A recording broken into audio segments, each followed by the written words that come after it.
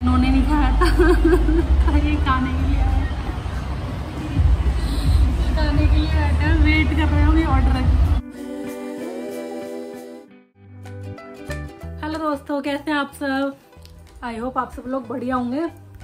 तो आज मंडे हो गया भाई और होली का त्यौहार भी सही से निकल गया। आई होप आप सब लोगों का भी अच्छा गया होगा होली का त्यौहार। आप कमेंट करके ज़रूर बताना आपका होली का फेस्टिवल कैसा गया है। और यार, जैसा मैंने आपको बताया था ना ब्लॉग में आज लेट स्टार्ट कर रही हूँ थोड़ा। बारह बज चुके हैं तो लंच वगैरह सब कुछ हो गया है। और जीनू की यार, वैसे तो तबीयत ठीक है मतलब लूज मोशन में तो फ़ायदा है उसको। बट ना वो कुछ भी नहीं खा रही है मतलब दूध तक नहीं पी रही है। ऐसे ना उपकाई सी ले रही है, एकदम दूध पिलाओ तो। कुछ भी नहीं मतलब उसे चिप्स वगैरह पसंद थे, चिप्स भी नहीं खा रही, कुछ नहीं खा रही। पता नहीं क्या हो गया है, खिचड़ी बनाओ, खिचड़ी नहीं खा रही है।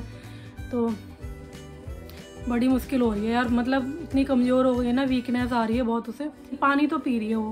पानी खूब पी रही है, ना दूध पी रही है, ना कुछ पी रही है। तो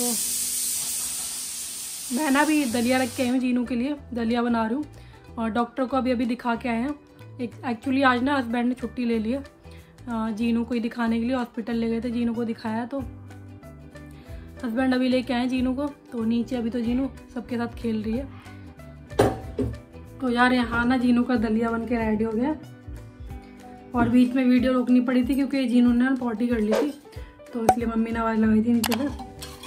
तो इसे दलिया खिला देती हूँ। जीनू को नवा के तो रेडी कर दिया नहा धो लिए अभी खेल रही है। जीनू डॉक्टर के पास से आई है अभी। जीनू? जीनू हाई कर दो सबको। जीनू खेल रही है पापा के साथ। जीनू हाई कर दो। हाय कर दो। इधर आओ अच्छा इधर इधर। जीनू का मुँह निकल गया, इतना सा मुँह हो गया जीनू का। बच्चों का कितनी जल्दी मुँह निकल आता है। और वैसे भी यार लूज मोशन में हो ही जाता है। कमज़ोरी वगैरह बहुत आ जाती है। और ये तो कुछ खा पी नहीं रही है। कैसी हो गई है? कैसी हो गई कैसी हो गई है? और यहाँ मैं जीनू के लिए दलिया ले आई हूँ। और थोड़ा सा दही ले आई हूँ, क्योंकि दही के साथ ही वो खाती है। बिना दही के कुछ नहीं खाती है वो। और टीवी सामने मैंने ऑन कर दिए तब बड़ी मुश्किल से खाया उसने। वरना बिल्कुल कुछ भी नहीं खा रही थी वो। और शाम के टाइम को हम लोग आ गए हैं पिज़्ज़ा थिएटर में क्योंकि यार कुछ ना खाने का मन कर रहा था कुछ बट वो दूर कहीं जा नहीं सकते थे खाने के लिए तो हमने कहा पास में ये है तो यहीं पे खा लेते हैं आके क्योंकि जीनू की तबीयत ख़राब है तो दूर तो जा नहीं सकते हैं। तो मम्मी के पास जीनू को छोड़ के आ गए और यहाँ काफ़ी अच्छा पिज़्ज़ा देता है पिज़्ज़ा थिएटर यहाँ पे पिज़्ज़ा काफ़ी अच्छा मिलता है मतलब डोमिनोज वगैरह से कम नहीं है अच्छा मिलता है यहाँ का पिज़्ज़ा अच्छा होता है। तो हमने सोचा यार क्यों ना यहीं पर आ जाए? पूड़ी खा खा के दिमाग ख़राब हो गया। और मैंने तो एक बार खा भी लिया था, किट्टू लिया था, वो तो ऐसी नॉर्मल सा था बट इन्होंने नहीं खाया था। खाने के लिए खाने के लिए आया था वेट कर रहे होंगे ऑर्डर दिया है और खाली पड़ा है, कोई नहीं है इस टाइम पे। पूरा खाली पड़ा है। हम ही लोग हैं, बुक्कड़, आके बैठ गए यहाँ पे। जब तक नहीं आ रहा था, मैंने कहा, क्या करूँ? आप लोगों से बातें ही कर लेती हूँ। पिज़्ज़ा वगैरह नहीं आ रहा। इंटीरियर इनका काफ़ी अच्छा है। और काफ़ी ना स्पेस पे बना रखा है, जो सिटिंग एरिया है, बैठने का जो भी है, काफ़ी स्पेस पे है। क्योंकि ये कोविड वगैरह की वजह से ना बहुत स्पेस दे रखा है। और यार, आज ना बाहर बहुत तेज़ वाली आंधी चल रही है। मतलब धूल उड़ रही है, धूल वाली आंधी चल रही है बहुत ज़्यादा। बाहर से भी हम आ रहे हैं तो काफ़ी धूल वूल भर गई सिर में भी सब और मैं कानों में इयरिंग पहनना तो भूल गई याद ही नहीं था। ये आ गया हमारा पिज़्ज़ा बहुत गर्म है यार चीज़ है इसमें। गर्मा गर्म कैसे खाओगे तुम ये स्टार्ट करो। अभी तो गर्म है बहुत गर्म है। हाँ चीज़ तो वैसे भी आज तक गर्म हो जाता है। तो हम थोड़ी देर वेट कर लेते हैं। कोक भी लेते हैं अब तक।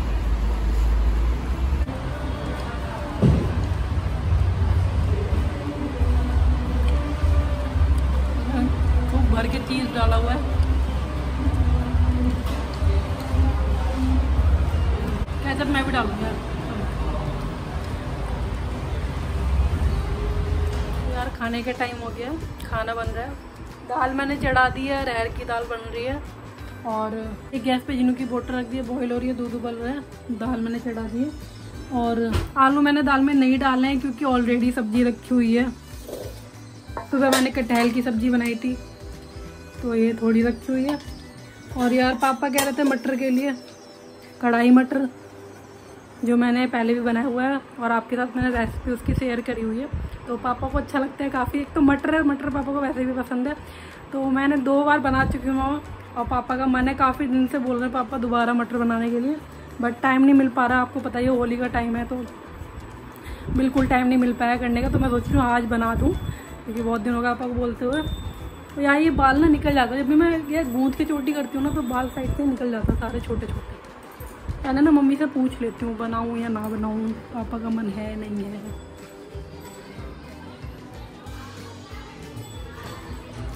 मम्मी,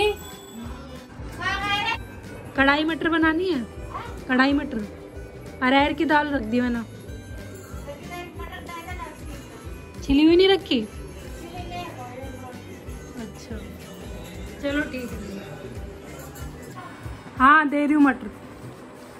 तो मटर यार थोड़ी तो छिली हुई रखी है बट वो कम पड़ जाएगी तो थोड़ी। मम्मी को रहती हूँ, मम्मी छिल देंगी मटर। जब तक मैं बाकी तैयारी कर लेती हूँ।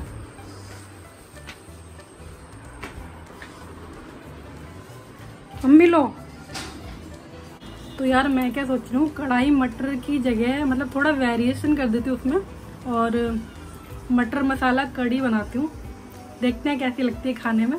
क्योंकि कढ़ाई मटर तो कई बार खा चुके हैं तो वाला ट्राई करती हूँ इस बार। तो उसके लिए मैंने यार चीज़ें तो सब ले ली हैं।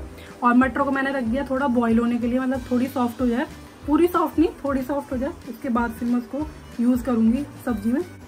तो यहाँ मटर रखी है मैंने, थोड़ी सी बॉईल हो जाएगी यहाँ मैंने ले लिया ये सारा। प्याज, टमाटर, लहसुन, थोड़ा सा दही ले लिया मैंने, इसको फेंट लूँगी अभी। और ये कसूरी मेथी ले लिया। तो बस फटाफट से स्टार्ट करते हैं बनाना।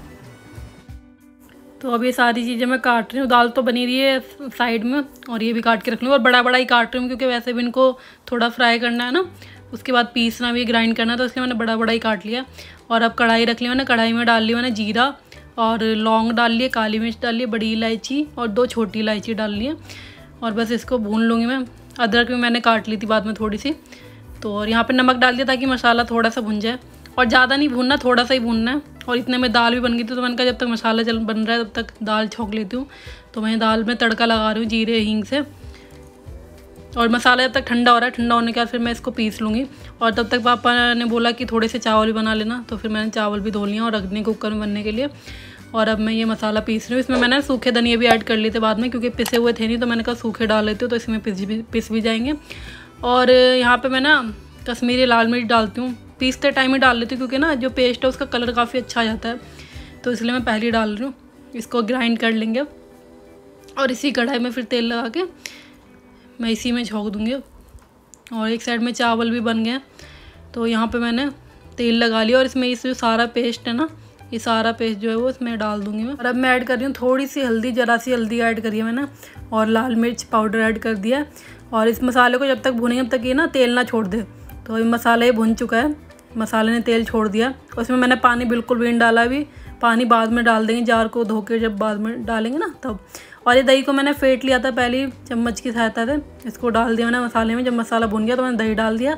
और इसको कंटिन्यू चलाते रहना है दही डालने के बाद, बिल्कुल नहीं छोड़ना, क्योंकि फिर अगर छोड़ देंगे तो दही ना फट जाएगा फिर। तो दाने दाने से हो जाएँगे फिर। तो जब तक इसमें खदक ना खदक ना जाए ना मसाला, तब तक चलाते रहना कंटिन्यू और उसके बाद मैंने उसमें गर्म मसाला डाल दिया था मसाले में, और जब मसाला बिल्कुल भून गया, तब मैंने इसमें ऐड कर दी मटर।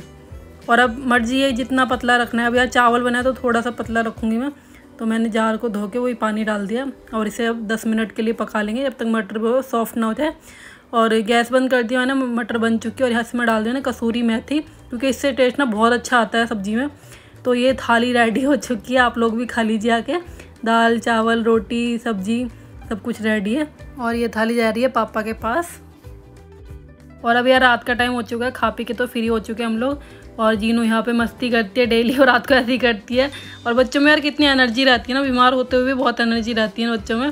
तो चलिए दोस्तों, आज के व्लॉग का एंड करते हैं यहीं पे। मिलते हैं आपसे कल दोबारा। अगर वीडियो अच्छी लगे तो प्लीज़ वीडियो को लाइक शेयर कमेंट करना ना भूलें। और अपना ध्यान रखिए, खुश रहिए। Bye take care